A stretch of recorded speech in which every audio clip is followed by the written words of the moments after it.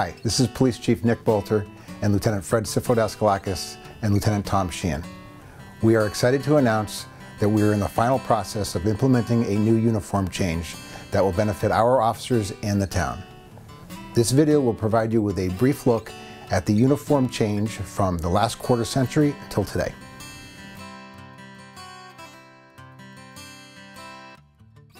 After an extensive wear test conducted by several officers, we ultimately chose this one. It was the most comfortable to wear, most practical, and most cost-effective for the officer.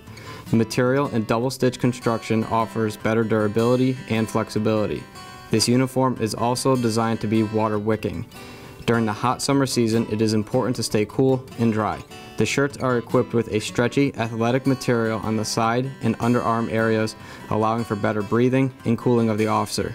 The stretch material also allows for a tighter fit and a more professional, tailored image. The pants and shirts are both designed with additional pockets for allowing for the storage of extra equipment, medical supplies, or evidence.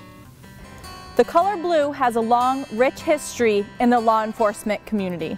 Blue and gold has a significant meaning within the town of Simsbury and can be easily recognizable throughout the state as Simsbury Athletics and Simsbury Trojans. These colors represent more than a uniform change. They represent our partnership with the community in which we proudly serve. Go Trojans!